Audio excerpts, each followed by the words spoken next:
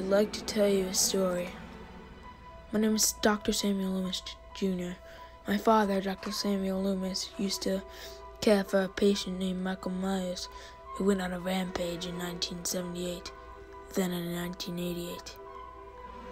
Ever since then, he's been a complete psycho.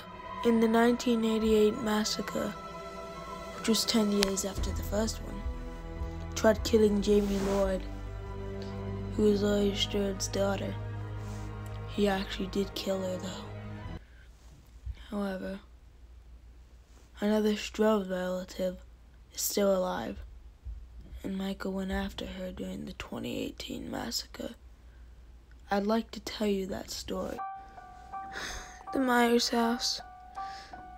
I miss my aunt Laurie Strode, but I know what killed her.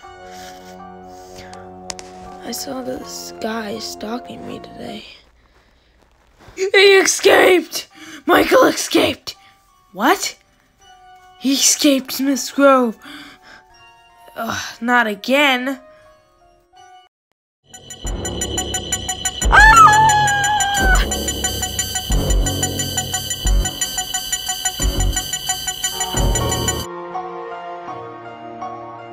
Michael!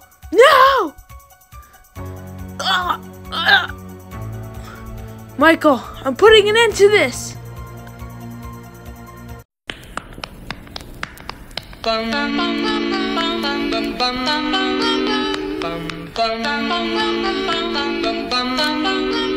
Mr. Sandman, bring me a dream. Make him the cutest that I've ever seen.